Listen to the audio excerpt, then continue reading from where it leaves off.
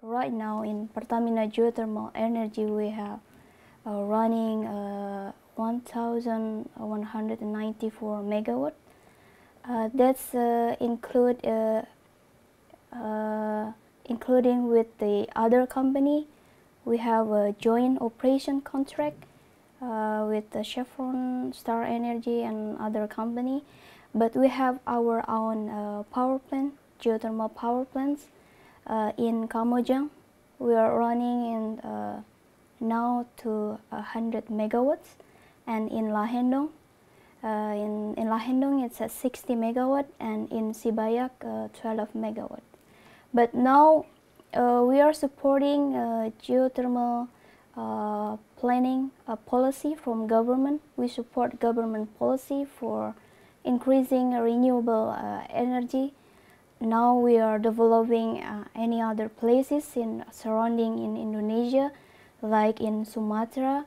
We have uh, Ulu Belu we have uh, Lumut Balai and Sungai Penuh and also in in Java we are developing in Kamojang uh, extending the power plant and also in in Sulawesi. Uh, we are developing in uh, Lahendong and also in Tompaso and Kota Mobagu. So uh, now everything's running in parallel and we're supporting a government policy about the energy of renewable.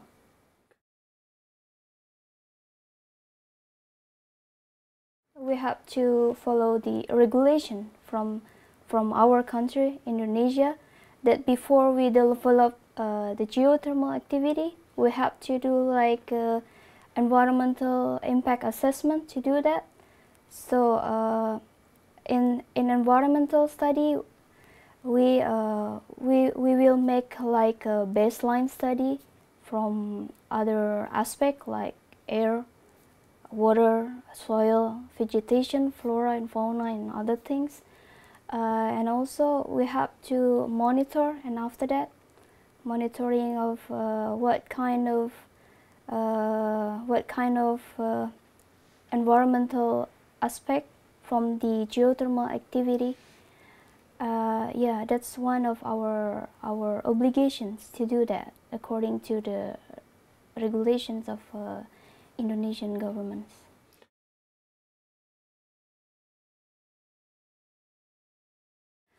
Actually, uh, we have to be considered about the uh, air pollution from hydrogen sulfide that's come from the, uh, the cooling tower.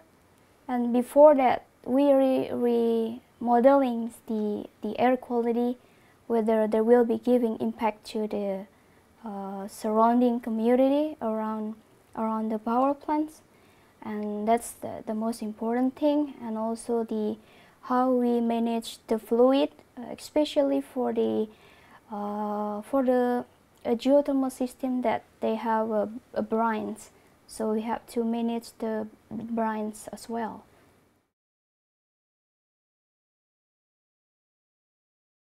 Our location is uh, uh, close to the community around that so we need to uh, have a giving awareness to to them and also uh, we also have to give like uh, explanations about the important thing of geothermal aspect. And also we as we are now developing a lot of project in Indonesia in parallel. And uh, some of the locations is really new. Uh, so we have to give uh, understanding also for the stakeholder and, and the community as well.